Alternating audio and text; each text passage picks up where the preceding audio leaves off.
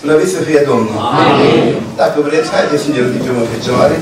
Vreau să citim câteva versete din Cartea Sfântă, din Iosua, capitolul 2. Iosua, fiul Nun, a trimis în ascuns din Sitim doi oameni ca iscoade zicându-le Duceți-vă de cercetat țara și mai ales Erihonul.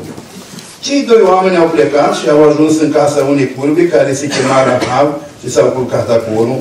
S-a dat de știre împăratului din Erihon și i-au spus, iată că niște oameni din copiii lui Israel au venit aici astă noapte ca să-i scodească țara. Împăratul Ierihonul a trimis Rahab să-i spună, scoate afară pe bărbații care au venit la tine și care au intrat în casa ta, căci au venit să-i scodească țara. Femeia a luat pe cei doi bărbați și i-a ascuns și i-a zis, este adevărat că bărbații aceștia au venit la mine, dar nu știam de unde sunt. Și fiindcă poarta trebuie să se închidă noaptea, bărbații aceștia au ieșit afară, nu știu unde s-au dus. Grăbiți-vă de urmați și veți ajunge. Ea îi pe acoperiș și i-a ascunsese sub niște mănunchiuri de in pe care le întinsese pe acoperiș. Oamenii aceia i-au urmărit pe drumul care duce la vadul Iordanului și după ce au ieșit, ei s-a închis poarta. Înainte de a se culca iscoadele, Rahab s-a suit la ei pe acoperiș și le-a zis, știu că Domnul va da țara aceasta, că ne-a apucat groaza de voi și toți locuitorii țării tremur înaintea voastră. Fiindcă am auzit cum la ieșirea voastră din Egipt, Domnul a secat înaintea voastră apele Mării Roșie și am auzit ce a făcut celor doi împărați ai amoriților dincolo de Iordan, lui Sihon și Og, pe care i-a nimicit cu desăvârșire. De când am auzit lucrul acesta, ni s-a tăiat inima și toți ne-am pierdut nădejde înaintea voastră, căci Domnul Dumnezeu vostru este Dumnezeu sus în cerul și jos pe pământ. Și acum vă rog, jurați pe Domnul că veți avea față de casa tatălui meu aceeași bunăvoință pe care am avut-o eu față de voi. Dați-mi un semn de încredințare că veți lăsa cu viață pe tatăl meu, pe mama mea, pe frații mei, pe surorile mele și pe toți ai lor și că ne veți scăpa de la moarte. Bărbații aceia i-au răspuns, suntem gata să murim pentru voi dacă nu ne dai pe față. Și când Domnul ne va da țara aceasta, ne vom purta cu tine cu bunăvoință și credincioșie. Amin. Amin. Vă rugăm să ne ocupați locurile. Cu ajutorul lui Dumnezeu suntem împreună la o seară de evangelizare. Eu sunt pentru a doua oară la adunarea aceasta. Prima dată am fost la o căsătorie când un prieten de-al meu a căsătorit un copil aici. Am spus bine prieten al meu? Da. Suntem prieteni. Da? Acum sunt pentru a doua oară și mă mărturisesc că v-am găsit foarte activ, foarte atenți, până acum cel puțin, și mai mulți decât îmi închipuiam. Și totuși vreau să fac o urare tuturora, nu știu dacă o să placă celor deloc. Dar eu tot o fac urarea asta. Așa dacă sunteți dumneavoastră în seara asta, Domnul să vă mulțească de 10 ori pe atât. Și apoi cu pedeții treaba dumneavoastră ce o să faceți. Că și așa văd că e aglomerată adunare. Frații mei, eu mă gândeam că dacă acum am încheiat evangelizarea, a fost evangelizare. Prin mărturiile celor doi frați, eu mă gândeam ce mai caut eu acum aici. Poate trebuie să cânt și eu o cântare cu voi. Dar dacă frații mi-au dat și mie un cuvânt, am ales cuvântul acesta. N-am predicat de aici niciodată. Și am fost îndemnat să predic pentru dumneavoastră de aici, pentru că pasajul acesta care l-am citit eu, surprinde o bucățică din istoria evreilor. O istorie îndelungată și frumoasă. Pentru că în Vechiul Testament întâlnim foarte multă istorie. E o carte de istorie. Dar în Vechiul Testament mai întâlnim multe profeții. Și chiar unele întâmplări care s-au petrecut cu mii de ani înainte, au o simbolistică în era noastră a creștinilor. În Roman, capitolul 15, versetul 4, Pavel scrie așa. Tot ce a fost scris mai înainte, a fost scris pentru învățătura noastră. Eu acum am citit un pasaj știu că istoricilor le place. Dar după ce am citit pasajul acesta, asta s-a citit la noi în adunare. Și eu întotdeauna știu că predica sau cuvântul trebuie să aibă o parte aplicativă. Amin. Ceva ce trebuie să fac eu, nu? Dumneavoastră ați auzit de istoria lui David și a lui Goliat. Cum un puștan cu ochi frumoși, cu părul bănat, o luat cu praștie și s-a dus să se bată cu Goliat, un om de 3 metri și jumătate aproape. Mare, mare, un neamel de om și ăsta era un băiețel. Și cu o prașcă învârtit și o trasă în frunte și l-o doborât pe uriaș. Ce înțelegem noi de asta? Când mergem noi acasă, ce înțelegem din asta? Nu înțelegem să ne facem praște, nu? Nu, nu asta înțelegem, să ne facem. Dar ce înțelegem noi din, din toată istoria asta? Înțelegem ceva? Ce am putea înțelege? Că în, în numele Domnului, prin credință, Dumnezeu dă biruință celor mai slab. Amin? Amin? Asta am înțeles eu. Acum am citit un pasaj și m-am oprit doar la aceste personaje. La Iscoade și la o femeie cu numele de Rahab, care s-au întâlnit. Acestea Dumnezeu a încătuit ca oamenii ăștia împreună să se întâlnească. Și m-am dus acasă și am întrebat, ce am eu de făcut? S-au predicat de cele două iscoade. Bun, cele două iscoade. Eu trimis Iosua să iscodească Erihonul. Dar eu, ce am de făcut de aici? Și surprins de asta am început să văd, dar ce înseamnă a iscodi? Păi în dicționar spune că a iscodi înseamnă a cerceta în ascuns ceva ca să afli un adevăr. Și m-am gândit eu care e rolul iscoadelor. Pentru că aici a trimis uh, Iosua. În număr capitolul 13, Moise trimite niște iscoade, dar pus de Dumnezeu. Cine sunt iscoadele astea? Ce cu iscoadele astea? Și când citeam în Scriptură, am ajuns la concluzia că iscoadele sunt niște oameni care au văzut ceva înaintea mulțimii, înaintea tabei. Evreii erau tăbărâți undeva, în pustie, dar îi scoată 12 oameni în cercetea Canaan. Ei știau cum e în Canaan. Ceilalți nu știau. Evreii acum erau dincolo de Iordan, da? Și doi oameni știau cum este în Erihon. Când a început apostolii să propovăduiască în 1 Ioan capitolul 1, versetul 1, ei eh, se justifică. Și spunem ce am văzut cu ochii noștri, ce am auzit cu urechi, ce am pipăit cu mâinile, aceea vă spunem noi.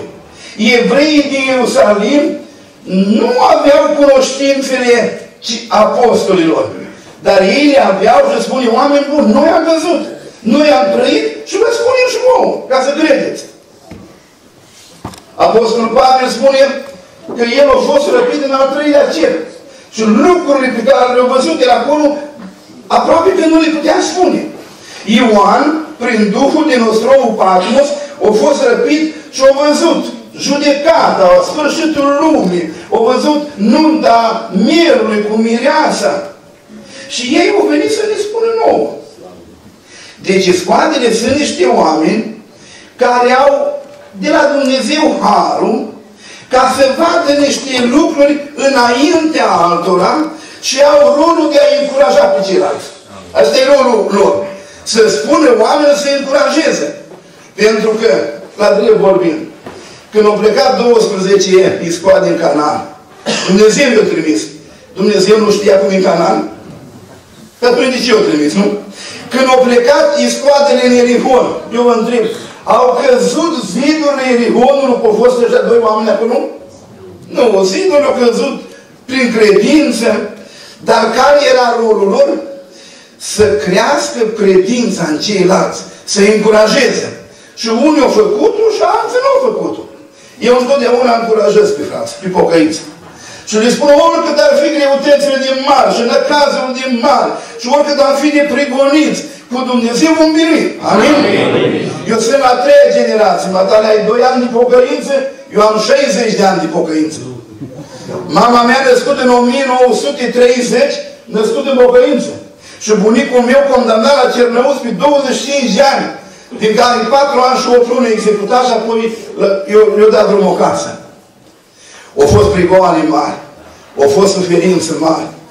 Unii din înaintașii noștri au murit la cernăuță, pușcării, bătuți.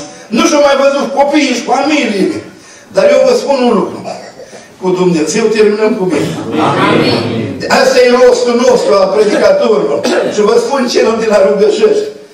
Când am venit în trecut, erați mai puțin și mai începători. Acum m-a surprins, chiar trebuie să vă faceți altă adunare. Nu dați pe el de acolo.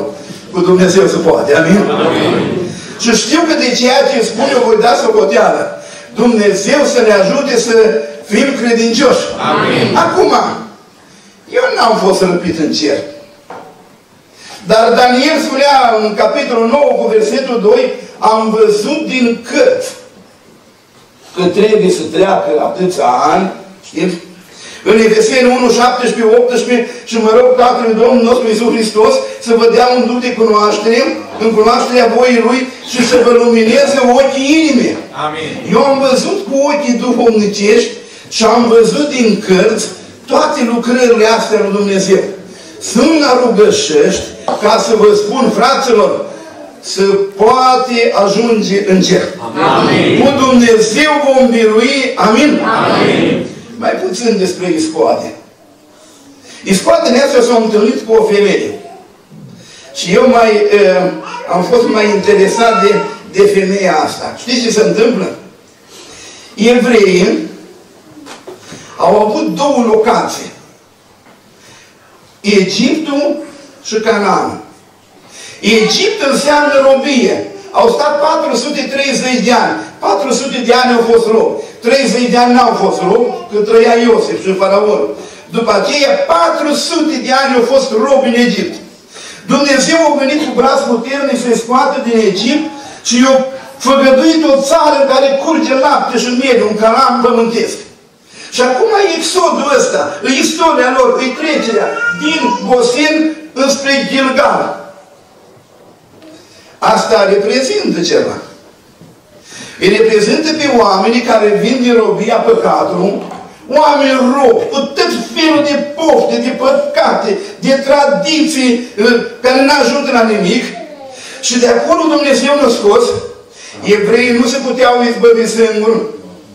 Partea care nu puteau face evreii, au făcut Dumnezeu într-o noapte, i-a scos de acolo. Spune Psalmul 40, îmi pusese nădejdea în Domnul și El s-a plecat spre mine. Mi-a auzit strigătele, m-a scos din fundul nocire, din groapa pe irii, mi-a pus picioarele pe stâncă, mi-a întărit pașă, în gură a pus o cântare nouă, laudă pentru Eu nu putem ieși din groapă.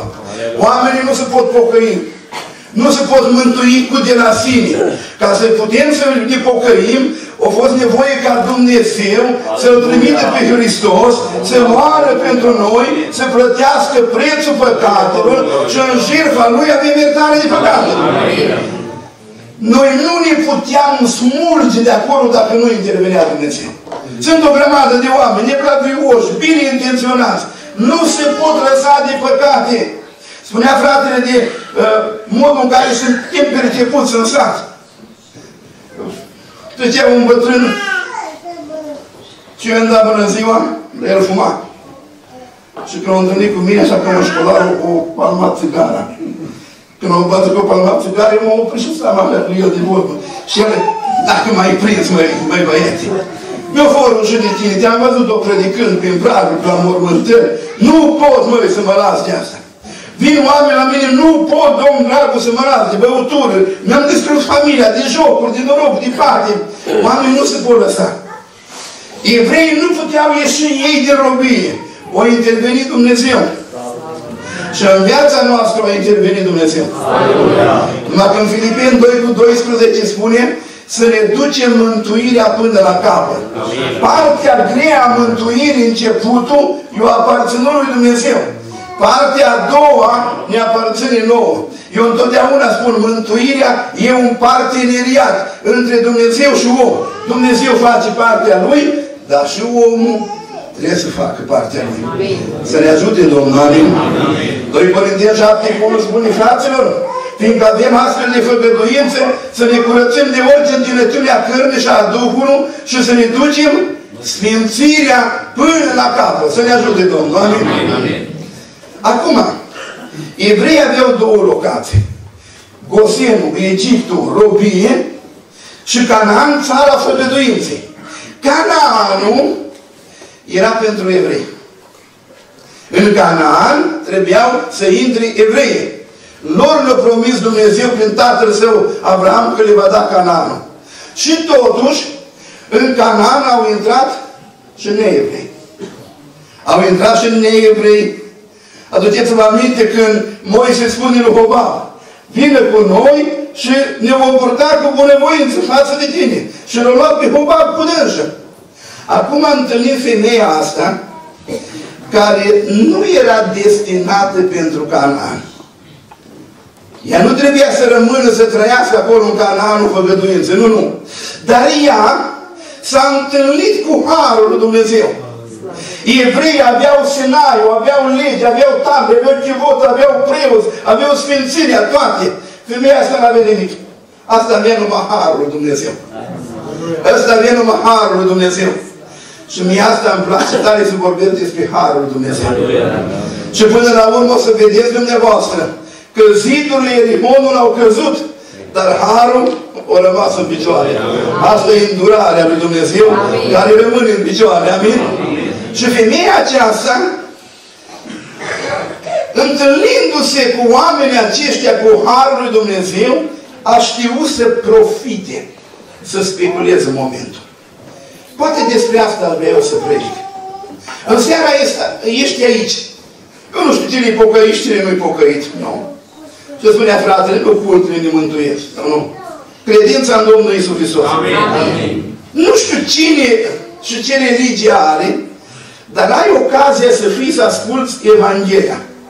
Ai venit din obligație, ai venit din rușine, ai venit din curiozitate, așa de multe ocaziile astea, dar acum ești aici. Am întâlnit oameni în Sfânta Scriptură care au știut să profite. Și Biblia arată aici. Spune Scriptura în Geneza că păcatul omenirii s-a înmulțit așa de mult, lui Dumnezeu i-a părut rău că l-a făcut pe om și a spus, am să nimicesc tot ce are viață. Și așa s-a întâmplat. Numai că de la potopul acesta de ape, câțiva oameni au scăpat.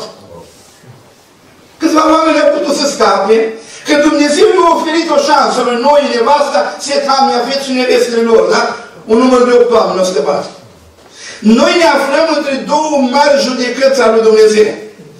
O judecată trecută, numită potop de apă, și o judecată viitoare și foarte aproape numită potop de foc.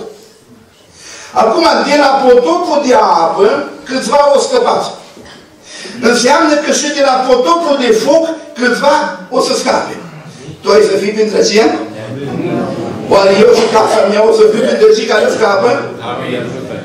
Ei, dar ce-a făcut omul ăsta în noi? O profitat de ocazia care s-a evit. Că după ce au gătat corabia, știți dumneavoastră, ușa au mai stat deschisă încă șapte zile. Și eu cred că s-au făcut invitații, poftim, Dumnezeu nimicește. Oamenii au râs, au glumit, până când s-a închis ușa. Și dintr-o dată a venit un înger al Dumnezeu. S-a deschis stăvirarul cerului, izvoarul de, de jos țâșneau, de sus curgeau apele în cascadă. Îmi imaginez pe oamenii aceia că le-au perit sâmbătul pe buză. Îmi imaginez oamenii aceștia cum disperați, cu copii în brațe, încercau să alerge la munți, să se sui pe înălțimi. Dar apele tot creșteau. Îi văd pe oamenii aceia bătând cu pumnul corabia noi de drumul. Poate erau cumnați, poate erau vecini. Dar ușa nu se mai putea deschide. Noie a scăpat. Pentru că a știut să profite de ocazie ce i s-a evit. În seara asta ești aici să asculți Evanghelia. Aleluia. Ai înțelepciunea ca să profiți de ocazia asta? Doamne ajută! Dumnezeu, dacă s-a supărat, și au vrut să nimicească cu foc cetățile câmpie. Sodoma, Gomora, Adma, Țeboimul și Țoară. Și au trimis totuși niște oameni, niște îngeri acolo și dacă cineva ar fi vrut să scapă, că s-au dus la lot și au spus, mai pe cine mai aici? Nevastă, fete, gini, spate pe toți. Că mâine Dumnezeu declanșează o urgie teribilă. Ginile lui credeau că o glumit. Eu am o predică, nu glumiți cu pocăința. Amin. Nu glumiți cu pocăință. Dumnezeu nu face glume, oameni buni. Nu glumiți cu judecata viitoare, cu iadul, cu raiul și cu nu știu care. Nu. Am o întâmplare. Am spus-o de multe ori. Eu am lucrat la CFR o mulți ani de zile, reparați locomotive, la început. Aveam un prieten, Asabe Viorel, și în colectivul ăla de oameni, când voiam să spun ceva de pocăință, că eram singurul pocăit, el spunea, drăgușel, la iad eu să fiu șef. Și am eu de urechi și am să bagă smoală. Și tăți râdeau și nu mai puteau de râs. Nu puteam să-i spun nimic, dacă el spunea că e șef la iad și el a să mă chinuiască pe mine. M-a rugat Domnul, Doamne, schimbă mintea. Ești coleg bun, sociabil, mâncam împreună. Numai când ajunge la religie, își bătea joc. Odată m-am dus, eram acasă, când mă duc a doua zi, colegii mei vorbeam în șoaptă, am zis, dar ce sunt, ce cu voi? Și un maestru, un maestru din Botoșani spune, bă, tu ieri ai fost liber. Viorela Save s-a sfit o locomotivă cu aur, care era realizată sub firul de contact. Și el nu văd, de acolo 27 de mii de volți. Nu trebuie să pui mâna pe fir. De la un metru și jumătate, dacă te atingi, te-o te electrocutat. Și el s-a suit acolo și când s-a ridicat în picioare, o luat foc, nu a electrocutat. O căzut jos, l-a dus la spital și îi spunea Marin, mă duc în spital. Am spus mai repede, s-a ropiet, am ajuns la el, am ajuns în spitalul Scevean, un salon, un, un coridor mare, Mă, când am ajuns acolo la etajul șapte, s-auzeau niște urlite groaznice. M-am dus direct acolo, am intrat, el era ars, cum e ars, cum ardeți voi o, o, o, o bucată de carne, când o prăjești în femeie de gai. Așa e. Ars, unde se vedeau, unde avea vine, se cunoștea așa. Era un flat tot. Avea un cord, așa, un povintil făcut, că nu putea să purte haine pe el. Și când m-a văzut pe Dragoș, o întrebare. De ce trebuie să mor ars la 25 de ani? Și de ce tatăl meu a murit tot ars și tot la 25 de ani? Știți ce am să-i spun prima reacție mea? Eu, cum e cu iadul, cu smoală, cum, cum e? Dar nu mi-am permis, nu, nu, nu puteți să faci glume. 9 zile omul ăsta a trăit, îmi spunea mie doctorul ca mea, băi, nu știu ce inimă are omul ăsta în el. Îmi spuneam, lasă, băi, acum sunt medicamente, sunt, are fi, după 9 zile a murit. Și atunci nu-ți mai vine a glumi. Nici cu pocăiță, nici cu adunarea, nici cu Duhul Sfânt, nici cu iadul, nici cu raiul, nici cu Sfântul Petru, nici cu soacra. Că noi ne permitem de multe ori așa, dar Dumnezeu nu face glume. Și atunci, mi-l imaginez pe îngerii Domnului care s-au dus la Sodoma și la Gomora și au spus, Lot, tot ceea ce o scoate afară. Nu au vrut oamenii să vină. Dar a doua zi, așa eu mi făceam un exercițiu de de imaginație, așa. Au început să plouă cu foc și pucioasă. Fântânile cu smoală rămasă din vremea lui Ghedar la Omer s-au aprins. Și de sus cădea foc și pucioasă și o ars oameni de vin. Eu văd bătrâni așa cum alergau, să cădeau, n-aveau o gură de aer. Eu văd părinți, tați cu, cu copii în cârcă, fugeau și de urmă nevalul de foc și îi până jolea. E ceva de râs aici? E ceva de glumit aici? Dar niște oameni undeva mai departe, să uita la cetatea Sodoma și Gomora. Ei au scăpat. Au profitat de ocazia care li s-a oferit. Ei așa vreau să predic la femeia asta, care nu avea un nume bun. Era poate mai păcătoasă decât alții. Dar au avut harul să se întâlnească cu oamenii lui Dumnezeu. Și oamenii lui Dumnezeu i-au oferit șansa ca să scape. Asta e esența predicii din seara asta. Deci femeia asta care nu avea lege, nu avea merite, nu avea sfințenie, nu avea o destinație pentru Canaan, o ajuns în Canaan. Știți de ce? Că au ascultat pe oamenii lui Dumnezeu. În seara asta vrea cineva să asculte? Amin. Fratele spunea că el face chemare la început, la sfârșit. Și eu obișnuiesc. Scrie acolo în Luca 23, 9 cu 23. Dacă vrea cineva să mă urmeze, să se lepede de sine, să-și ia crucea și eu întreb, vrea cineva? Dacă vrea cineva, eu vreau să-L cunosc, să mă rog pentru El, să ne bucurăm împreună. Doamne ajută-ne, amin? Amin. Ei bine, femeia asta, care nu era programată ea să aibă cetățenie în regulă, cu acte, viză de Canaan, o rămas să trăiască în Canaan. Ce a făcut pe femeia asta să fie în Canaan?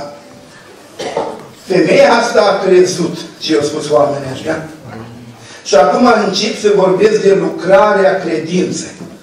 Iar mine la oamenii ăștia spunem că de când am auzit credința vine în urma auzirii. Și auzirea vine prin de asta predicăm.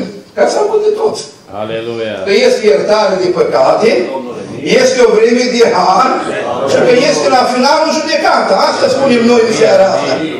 Ce ai să faci tu cu ce ai auzit acum? Ce ai să faci cu informația asta? Biblia vorbește că o femeie a auzit că Hristos a intrat în casa unui fruntaș cu numele de Simon. Și femeia asta, care și ea era o păcătoasă, o călcat toate regulile de politețe, o intrat în casa aceea, s-au aruncat la picioarele Domnului, i-au spărat picioarele cu lacrimi și i-au șters cu părul capului ei. Și păcatele ei, care erau multe, spune Domnul, au fost iertate, că au iubit mult. Tu ai văzut de pocăință? Până acum? De judecata viitoare. De mânia lui Dumnezeu care e gata să vină. De jertfa Domnului care te cheamă. Ai auzit? Ce faci tu cu ce ai auzit? Ce faci cu informația asta? Femeia spune că de când am auzit ce a făcut Dumnezeu, ne-a apucat spaima pe toți, că numai Dumnezeu e sus în cer și în jos pe pământ. Ești aici și auzi. Ești aici și auzi. Du-te acasă și fă ceva cu ce auzi în seara asta. Amin? Amin. În al doilea rând, femeia asta și-o asuma niște riscuri și-o asumat niște crezi au fost ușor. Cetatea era păzită, oamenii în vremea erau cruzi, erau sălbatici. Deja împăratul a auzit că niște iscoade au venit. O venit la ea, putea să spună, ia domnule, iscoade, deci gata, lăsați-mă în pace.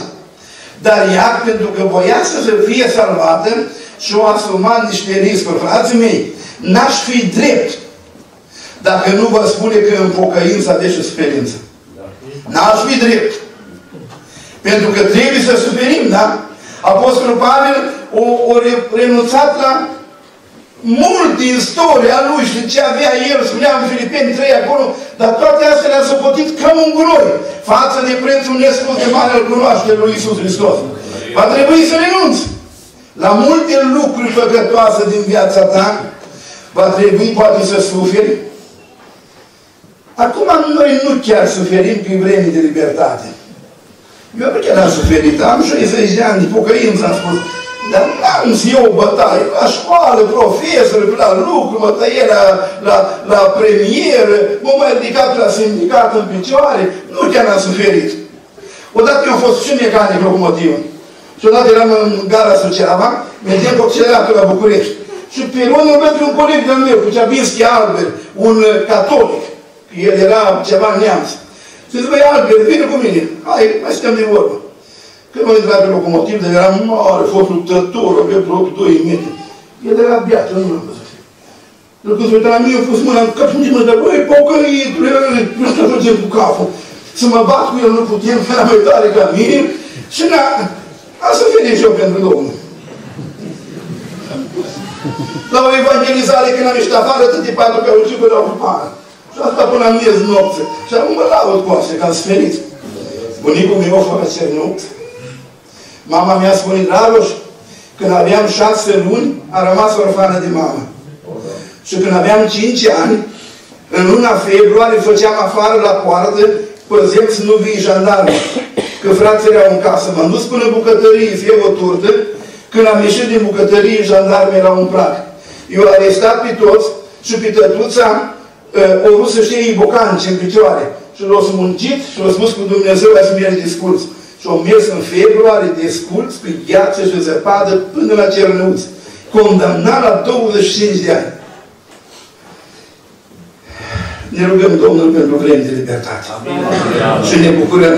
Nu descurajez pe nimeni.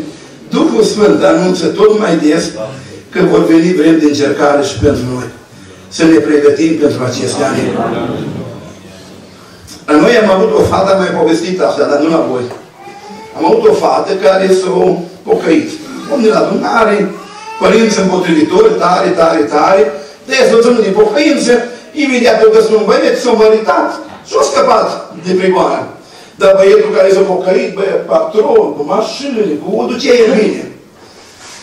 Asta o cheamă Mihaela, era noi din sat. După o vreme, sora ei mai mică, cu numele Ionela, pe când era în facultate, s-a pocăit și ea.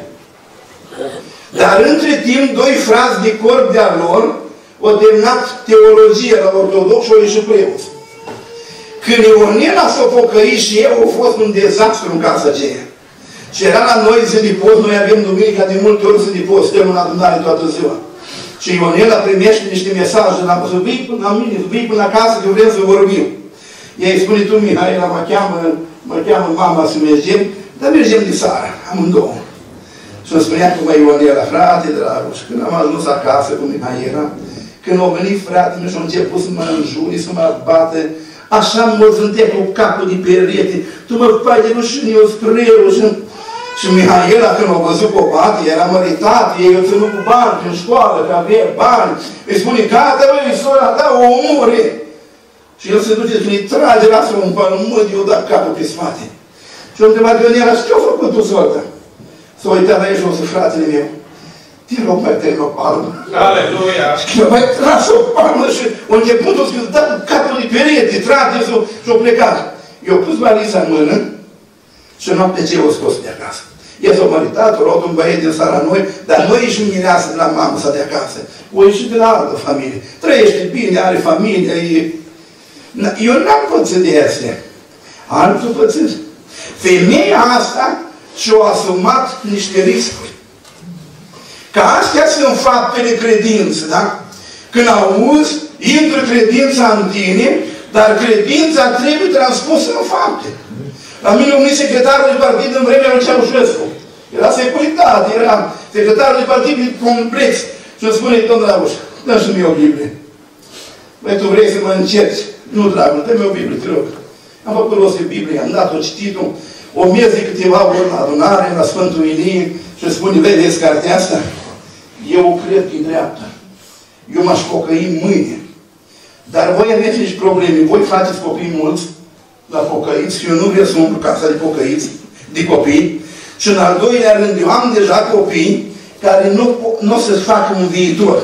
Nu o să meargă la o facultate și băietul o să-mi bată o grază, tata, cu pocăința ta. Noi trebuie să ne asumăm niște riscuri. Să fim conștienți de ele și femeia asta și le-a asumat. De ce o moștenit Canaan? În al treilea rând, aș vrea să vorbesc ceva despre simbolul funii cărămizii. Că eu spus iscoadele acestea, măi, la fereastra asta, pune o funie prin care ne-ai coborât tu, pune o funie. Ce reprezintă funia asta? În primul rând, este un semn de identificare. Când au venit evrei și au căzut zidul și au cucerit cetatea, eu au spus, măi, casa aceea unde funea cărămizie, acolo nu o nimiciți. Aduceți-vă aminte când Îngerul Domnului o nimici pe toți întâi născuți din Egipt, o spus Dumnezeu așa, locuințele unde va fi sânge, pe ușorul de sus și pe, și pe pragul de sus, să nu intrați cu nimicire. Era un semn de identificare. Fraților, Dumnezeu pe noi ne cunoaște. Amin. Spunea fratele că ne-au botezat cu Duhul Sfânt. Amin. Și noi avem stăruință de trei săptămâni. Facem stăruință, adunarea e, e un cloc, Domnul botează. Avem proroci, prorocița ca voi. E, e o bucurie, da? Și Pavel spunea romanșul, dacă Duhul celui ce învia pe Iisus din morți locuiește în voi, va învia și trupurile voastre muritoare. Ăsta e semnul că suntem al lui Dumnezeu, da? Un semn de identificare ne cunoaște Dumnezeu. Domnul când a luat botezul, a coborât în chip de porumbel un, un, un Duhul Sfânt și a venit peste el și a strigat Dumnezeu. Ăsta e Fiul meu prea iubit în care îmi găsesc plăcerea. Aleluia! Își găsește și noi plăcerea? În Isaia, acolo în capitolul 11, când vorbește de o draslă care va ieși din rădăcina lui Isai, spune versetul 2, Duhul Domnului se va odihni peste el. Eu atât m-am gândit aici, peste Domnul Isus, Duhul Domnului se odihnea. Oare peste mine se odihnește? În mine Duhul Domnului atât are de lucru, are de corectat, are de mustrat, are de îndemnat, are de ridicat, are de cioplit, că stare nepocăit în firea mea. Domnul Iisus era atât de sfânt și de curat, că Duhul Sfânt în El nu avea nimic de făcut. Duhul Sfânt peste El venea să o odihnească. Peste adunarea asta, Duhul Sfânt se odihnește. Dacă ar veni așa Duhul Sfânt în timp de porumbel să zboare, s-ar auzi din cer, toată plăcerea mea o găsesc la voi? Și dacă nu o găsește, hai să ne pocăim mai Dumnezeu să ne ajute. Amin. Amin. În primul rând, funia aia cărămizii era un semn de identificare. Asta casă trebuie salvată. Mi-aduc aminte în cartea profetului Ezechiel, când apostazia și rău era la culme și era hotărât în nimicirea cetății, o trecut întâi unul cu o călimară la brâu și a făcut un semn pentru aceia care suspină. Și când au venit îngerii nimicitori, a spus Dumnezeu, nimiciți cetatea, dar pe aceea cu semnul să nu-i nimiciți. Mai sunt azi pocăiți rugășești care suspină, care îl doresc pe Domnul, care trăiesc pocăința. Dumnezeu să ne mulțească. Amin. Amin. avea semn de identificare. În al doilea rând, semn de încredere. Domnule, niște oameni străini, dușmani, ca națiuni. Atâta încredere au unul în celălalt, femeia se încrede în bărbații ăștia, în iscoade, și iscoadele se încred total în ei, domne. Cine am face noi dacă nu ne-am încrede unul în altul? Păstorul să n-aibă încredere în adunare, adunarea să n-aibă încredere în păstor. Ce slujire ar fi? Ar fi tare greu, nu? Dar funia asta reprezenta un semn de încredere. Ai încredere că eu atunci când văd funia, vă salvez pe tăți. Doamne ajută de la Sau pe funia asta reprezenta izbăvirea. Oamenii cei din casă nu vor fi nimiciți, vor fi izbăviți. Și asta doresc să facă Dumnezeu și Dumnezeu. Să ne izbăvească Domnul din necaz. Amin. Dar femeia asta știți când a pus funia? Cum a plecat iscoadele, eu și legat funia. Nu mai spus, o mai țin acolo și când o vedea că vine evrei, o pun. Nu, nu, nu. Eu o legat funia atunci. Un proroc cu numele Iona a ajuns în capitala mare a vrășmașilor și a început să predice. Știi ce striga? Încă 40 de zile și cetatea va fi nimicită. Și oamenii aceia au început să se pocăiască. Au început să se întoarcă la Dumnezeu. Știți de când? Din ziua aceea. Ei puteau, era ușor pentru ei, puteau să distreze 39 de zile și a 40 să se pocăiască. Dar nu. Ei din ziua aceea s-au pocăit. Acum unii poate ar vrea să se pocăiască. Dar nu din seara asta. Poate de săptămâna viitoare. Și întreba aici un frate, cine știe că voi ne trăiește? Nu știe nimeni. Hai să ne pocăim din seara asta. Cineva, un filozof, spunea că drumul spre iad va fi pavat cu intenții bune. Oameni care au vrut să facă bine, dar nu au reușit. Am vrut să mă pocăiesc, n-am mai apucat. Am vrut să mă vizitez un bolnav, n-am apucat. Am vrut să ajut un sărac, dar n-am mai apucat. Tot am vrut, am vrut, dar nu le-am făcut. Intenții, dar nerealizate. Dacă cineva vrea să se pocăiască, să pocăiască în seara asta. Amin. Dar noi avem un frate, un frate, un om din sat. Fata lui s-a pocăit. De la horă, de la discotecă, a venit în adunare, a luat botezul, s-a căsătorit, trăiește, are 10 copii. El venea în fiecare an la evangelizare. Dar mai venea și când nu era evangelizare. Venea și duminica, nu mai venea, bat Gheorghiță, și tot spui cu două bat Gheorghiță, trebuie să iei botez, să vede că te pocăiești. Băi, trebușă, eu toată viața am fost la anunț. Am botezat și am cununat. Lăsați așa, frate. Am botezat și am cununat. Mai am un singur băiet din surat la vară, îi logodit are nuntă. După ce fac nuntă cu băietul, două duminică vin la voi și cu voi să fim. Asta era în primăvară. Îl durea pentecita. S-a dus la spital, o operație ușoară. Ce le-a pentecită? Și-a venit în sicriu acasă. Nu a prins nici nunta la băiet și nu a prins nici vremea pocăință. Oh, da. Pentru că diavolul are o metodă foarte periculoasă. Se cheamă amânarea. Și poate să și rugășește aici oameni care spune, Domnule, îi bună pocăința, să mă pocăiesc un pic mai încolo. Eu am avut un uncheș, mătușa mea a fost pocăită. Și un uncheș a venit la adunare, știe de pocăință. Dar tot amâna, amâna. O căzut la pat, era un om greu. Și nu mai putea să ridice. Îmi spunea mătușa, măi, dragul, și atâta te-o strigat, s-o ridicat din pat și mătușa îi spune, Ilie, unde te duci? Mă duc la dragul să mă botez, să fiu mor, trebuie să iau botezul. O căzut jos în casă, o chemat doi vecini, l-au pus înapoi în pat, l-au spus, bă, el stai liniștit. Dă-i telefon la dragul să vie. M-a sunat, eu eram în adjut cu trenul, mătușul, eu pe locomotivă, las că vin eu acasă. O mai stea vreo jumătate de ceas, S-a ridicat în picioare ca să vii la mine. El trebuie să iei, o căzut iară jos, iar o chema vecinii, l-au pus în pat și până seara a murit și nu mai lua botez. Pentru că diavolul are arma asta foarte periculoasă, numită amânare. Ei, femeia asta, când i-a spus iscoadele, măi, să legi punea asta la, la geam. Biblia spune că în clipa aceea, femeia a pus punea aceea la geam. Nu amânați pe mâine, fraților. Profitați de ziua de azi, amin? amin. Dumnezeu să ne ajute. Amin. Și apoi în al patrulea rând, femeia asta, prin credința ei, o salvat și pe alții. Toată casa ei.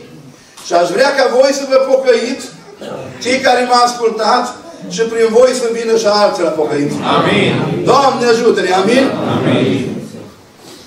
Scriptura spune că Domnul era la fântâna Sihar și a venit o femeie tot păcătoasă. Tot o femeie păcătoasă a venit și când o stat de vorbă cu Mântuitorul, știi ce a făcut? O lăsat pe leată la fântână și a fugit în sat și a spus, veniți încoace. Veniți de vedeți un om care mi-a spus totul. Și au venit toată cetatea din Sihar și l-au primit pe Domnul, l-au rugat să mai stea câteva zile la ei. Aș vrea ca prin pocăința ta să pocăiască toată casa. Amin. Prin întoarcere la ta la Dumnezeu să vină toată familia ta. Amin. Amin. Și încă o dată repet în încheiere. De mai veni o dată să fiți de 10 ori mai mulți. Amin. Doamne ajută de la aceasta. Frații mei, eu încheia predica. Doresc ca Dumnezeu pe toți să ne binecuvinteze. Amin. Amin. Nu uitați, o femeie a avut o șansă extraordinară. O femeie s-a întâlnit cu Harul lui Dumnezeu și o profitat de asta. Vrei să profiți și tu? Doamne ajută-ne! Mai târziu, se pare că cei din Ierihon erau niște profitori. Trecea odată Domnul pe acolo și unul era orb. Sta în corb acolo, dacă nu auzit că trece uh, Hristos, a început să strânge. Iisus, Fiul lui David, ai milă de mine. Știi că Domnul a vindecat? Unul care era mai mare în vameșilor, s-a suit într-un dut să-L vadă pe Iisus. Știți că a profitat și el de trecerea aceea? Aleluia. Noi avem o cântare veche, trece Iisus prin cetate. Aleluia. Și în seara asta trece pe aici. Aleluia. Nu vrei să te apuci de poala haine? Amin. El te poate vindeca. Amin. El te poate elibera de poftile tale, de patimile tale. El te poate ierta de păcatele tale. Dar lucrul ăsta se întâmplă azi și aici. Doamne ajută-ne. Amin. Amin. Dumnezeu să ne binecuvântează. Mai târziu, când au venit evrei, zidurile au căzut. Dar harul a rămas. Amin. Amin. Amin.